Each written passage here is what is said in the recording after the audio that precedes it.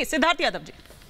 मैं दो बातों का रिएक्ट करना चाह रहा हूँ। एक तो भी हमारे साथी ने तुरंत डायनासोर से कंपैरिजन कर रहे थे। मैं कह रहा हूँ आपकी पार्टी की सोच तो डायनासोर वाली हो ही गई है एक्सटिंट हो चुकी है जा चुकी है। थोड़ा नए युग के हिसाब से तो आइडिया हाँ, आ पाएँगे। हाँ, हाँ। पर अभी चंद्रमोहन जी कह रहे थे कि ये राष्ट्रद्रोही और ऐसी ऐसी बात कर रहे थे चंद्रमोहन जी एक बात की गारंटी देता हूँ मैं आपको। हम आपको आज राष्ट्रद्रोही नहीं कहते ना हम आपको कल कहेंगे। पर आप भाजपा में आ गए ना तो आपकी जगह यहाँ पे जो कांग्रेस का आके बैठेगा वो आपको इतना बुरा बुरा कहेगा इतना बुरा बुरा कहेगा कि आप भी सोचेंगे कि आप किस दल में थे। हमने तो आपको आज कुछ कहा नहीं। ये कांग्रेस पार्टी की हालत हो चुकी है आज। छोड़ने से पहले तो सारी गंदगी का पिटारा इनके पास रखा है। जैसे छोड़ के जाते हैं ढूँढने लगते हैं वॉशिंग मशीन में चला गया रखा है वहाँ रखा है। ऐसी जो आवाज़ यहाँ से वहाँ तक पहुँच जाती है चमड़ी तो देखिए सर नेताओं की होती है मेरी मोटी क्योंकि चमड़ी, देखिए अभी मेरा तक नहीं दिखा ईमान था और मेरी आवाज़ थोड़ी भारी है, यहाँ से लेके आपके ये ये ये आपने बहुत नहीं सर ये मेरी बात मत करना मैं जाऊँ कार्यकर्ता के रूप में कुछ। चंद्रमोहन जी आप आप बताइए आप एक लिस्ट जारी कर दो आपकी हाँ। पार्टी में कौन कौन भ्रष्टाचार मैं उस मैं उस पार्टी में कभी नहीं जाऊँगा। जो पार्टी देश की जनता को कुछ और कहे और सत्ता लेने के लिए रात के अंधेरे के अंदर अपना वचन बदल दे हम्म। और उन लोगों को भ्रष्टाचारी कहे उन लोगों को देश की जनता के सामने चिल्ला चिल्ला के बोले और अपनी सत्ता के लालच के लिए उन्हीं ऐसे लोगों को क्या कहेंगे? जो नारी और नारायण दोनों का ही सुनिए ना।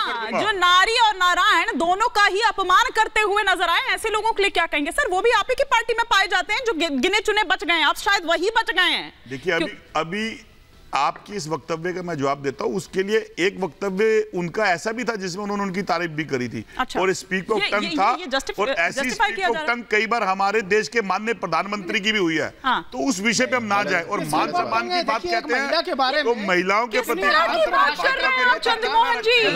ये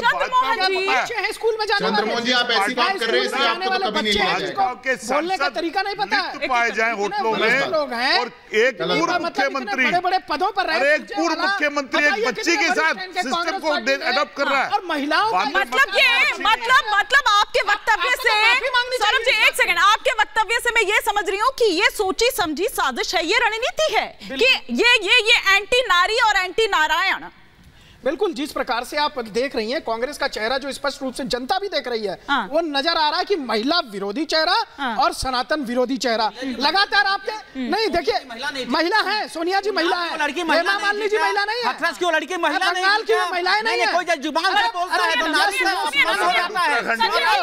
जी संजय जी संजय जी संजय जी आपकी बात से एक सेकंड आपकी बात ठीक हो सकती है लेकिन जब आप कंपेयर करते हैं ना तो इसका मतलब नहीं करते हैं, आप कंपेयर कर रहे हैं।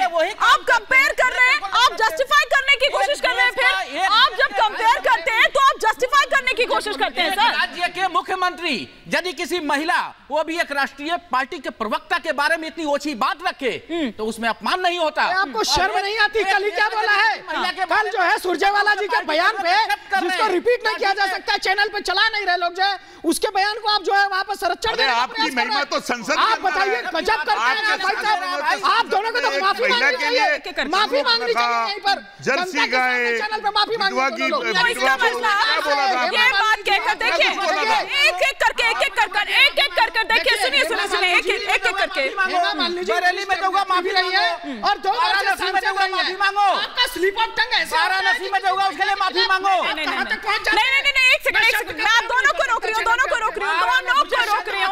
आप दोनों को रोक रही हूँ। देखिए जब आप जब आप कंपेयर करते हैं एक सेकंड सौरभ दुबे जी और संजय जी आप रही हो देखिए वो भी सही नहीं है जिन बातों की आप यहाँ पर बात कर रहे हैं। लेकिन लेकिन सुनिए ना सर जब आप कंपेयर करते हैं तो आप जस्टिफाई करने की कोशिश कर रहे हैं आप जस्टिफाई करने की कोशिश कर रहे हैं कि इन्होंने कहा था तो हमने भी कह दिया हमने कहा तो इन्होंने भी तो कहा था नहीं नहीं नहीं बिल्कुल नहीं नहीं अब मैं पंकज जी का रुख करती हूँ पंकज जी से ही समझ लेती हूँ पंकज जी आप क्या कहेंगे क्या ये जस्टिफाई करने की कोशिश नहीं हो रही है मैं ये नहीं कह रही हूँ कि जो उन्होंने कहा वो बिल्कुल सही था वो बिल्कुल सही नहीं था। मैं उनका समर्थन नहीं करती हूँ। लेकिन जब आप कंपेयर करते हैं तो आप उसको ढाल बनाते हैं। आप जस्टिफाई करने की कोशिश करते हैं। एक सेकंड सर पंकज जी। एक सेकंड एक सेकंड मैं आपको रोक रही हूँ।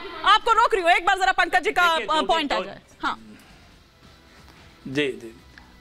देखिए जो भी गलत है उसको गलत कहना चाहिए लेकिन आजकल राजनीतिक दलों में यह बात पूरी तरह से स्पष्ट है कि उन्होंने ऐसा कहा था तो हमने भी कहा था। कोई बात 20 साल 50 साल पुरानी निकाल के ले आएँगे कि उस समय उन्होंने ऐसा कहा था। इसलिए अब हम ऐसा कह रहे हैं। लेकिन आप जब आए हैं या कोई भी आया है तो वो अगर गलतियाँ हुई है तो उनको दोहराना। क्या आपका काम है? कि आपने मान लिया है कि हम गलतियाँ दोहराएँगे और उसको फिर ढाल बना के रखेंगे? आप देखिए अगर इस तरह से माफ़ी की बात चल रही कि उन्होंने माफ़ी मांग ली थी तो अगर माफ़ी मांगने का सिलसिला हम आज शुरू करेंगे तो 2029 के चुनाव तक हम माफ़ी ही मांग सकते हैं। इतनी चीज़ें हुई है इतने बयान रोज आते हैं इस तरह की बातें होती है कि हम 2029 तक माफ़ी मांगते रहेंगे अगले चुनाव तक भी ये माफीनामा खत्म नहीं होगा। तो मेरा ये मानना है कि इस हाँ। तरह से आप बचाव नहीं कर सकते डिपेंड नहीं कर सकते कि उन्होंने ऐसा कहा तो हमने कहा और बाद में माफ़ी मांग ली। हाँ। माफ़ी मांगना तो और भी गड़बड़ है कि आपने कहा और आपने जानते बूझते कहा हाँ। और फिर आप माफ़ी मांगकर उसको साइडलाइन कर देते हैं लेकिन उससे कोई लेते तो अभी नज़र नहीं आते, उस पर कोई एक्शन नहीं हो जाती है हाँ, वो हाँ। आपके मन के उद्गार बताती है है बिल्कुल ठीक है ठीक है सिद्धार्थ जी कुछ रिएक्ट कर रहे हैं फिर मैं आ रही हूँ चंद्रमोहन जी जी सिद्धार्थ जी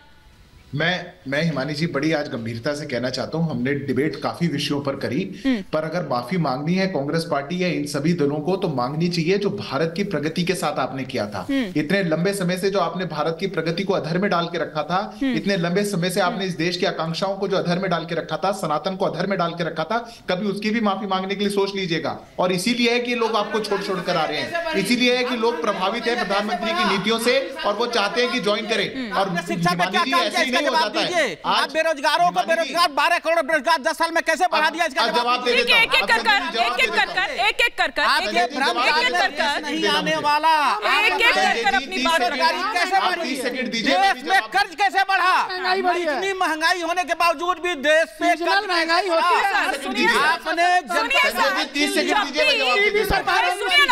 सुनिए सुनिए आपको डिरेल नहीं होने दूँगी एक सेकंड में आपको आपको रोक रही हूँ सुनिए सुनिए। मुद्दे पर वापस आइए मुद्दे पर वापस आइए। जब भी कोई मुद्दा होता है इस तरह का सनातन से रिलेटेड आता है महिला से रिलेटेड आता है आप लोग उसको महँगाई बेरोजगारी एक सेकंड उसमें उलझाने की कोशिश करते डिबेट हैं करना आप बोलिए। सुनिए सर सुनिए।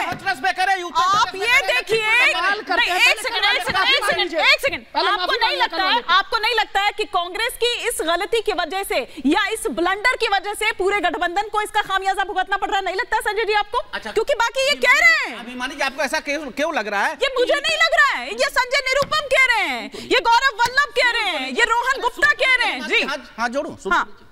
मैं कह रहा हूँ कि कांग्रेस ने मुँह से कुछ बोला हाँ। उसके नेता के ज़ुबान से कुछ बात निकली उसको तो इन्हें भुगतना पड़ता है। ये कर देते हैं ये कांड करते हैं भाज- भाजपाई। बनारस के अंदर इनके आईटी सेल के लड़के पकड़े गए जो बनारस यूनिवर्सिटी में हुआ था उसके लिए इनको देश नहीं माफ़ कर देता है।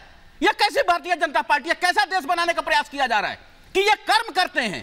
उसके लिए जनता इनके साथ खड़ी होती है। ये कहना चाह रही हैं? ये मतलब कुकर्मों के साथ नहीं मतलब आप कह रहे हैं जनता जो है के साथ देश खड़ा हो रहा है। आपके लोग किन किन कर्मों के अंदर गए हैं? आप बताइए कंगना रनौत के किसने बयान दिया? क्या? उसके साथ कुकर्म करेंगे। अरे कंगना रनौत एक एक करके ऐसे कुछ भी समझ नहीं आ रहा है। किसने बयान दिया? मुझे तो समझ नहीं आ रहा है। आप लोगों को आ रही है एक दूसरे की बात समझ? नहीं आ रही है। मुझे तो नहीं आ रही है। मुझे आ रही है इनकी बात समझ। जवाब देना पड़ेगा ना ये तो ज़बरदस्ती डालना चाह रहे हैं अपने कुकर्मों पे।